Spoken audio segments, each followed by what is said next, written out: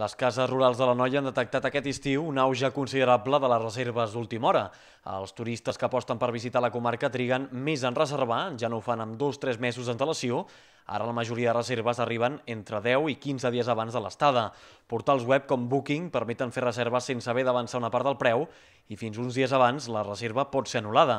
Amb tot, el sector s'ha trobat amb un agost força insegur. Sí, ha caigut una mica, mm, anem omplint, però tot són reserves doncs, d'última hora, cosa que l'any passat doncs, ja ho tenies, la gent agafava les vacances amb més antelació. Aquest any, doncs, anem fent, vull dir, però encara queden alguns dies lliures d'últim d'agost, que esperem que els omplim, però bueno, mm, va més a última hora, eh, reserves d'última hora aquest any. La manca de previsió del turista no feia pintar massa bé l'estiu i ha provocat incertesa en un sector que ha hagut de tenir cintura per adaptar-se a les exigències del guió. I el que ens trobem és això, que la gent ve molt a última oferta, última hora.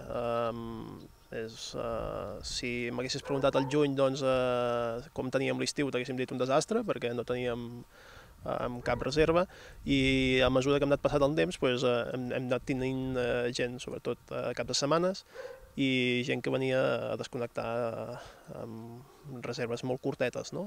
Però, ja et dic, eh, ens sorprèn fins i tot eh, la poca previsió, no? De dir, eh, quasi bé reservem a 15 dies vista, no, no, no reservem a, a llarg plaç. Vull dir, eh, l'última trucada doncs, la teníem per aquest dilluns, no? I dius, ospa, eh, això és, molt, és molta immediatesa, però no sé si és perquè hi ha poca previsió de, de fer les vacances o, bueno, o la dinàmica que ens trobem nosaltres, ja et dic que també amb poca experiència, és aquesta, no? de um, molta última hora. Um, busquem algun cap de setmana per, per uh, desconnectar i, i busquem què hi ha mm. i, si, i busquem el que trobem. Nosaltres no tenim la sort doncs, de tindre uh, a molt temps doncs, reserves fetes. Amb tot, el turista arriba tard, però arriba i la previsió és omplir la majoria dels dies d'estiu. Un altre canvi detectat enguany és el de la nacionalitat del visitant.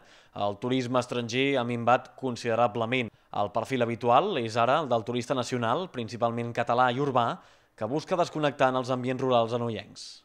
Nosaltres el, el turisme que ens ve aquí, com a, a casa nostra, és turisme de proximitat, eh, sobretot tenim l'àrea de Barcelona que ens aporta molta gent, i sí que és veritat que d'altres zones també ens venen, però sobretot, sobretot és àrea metropolitana i que es ve dir tot català.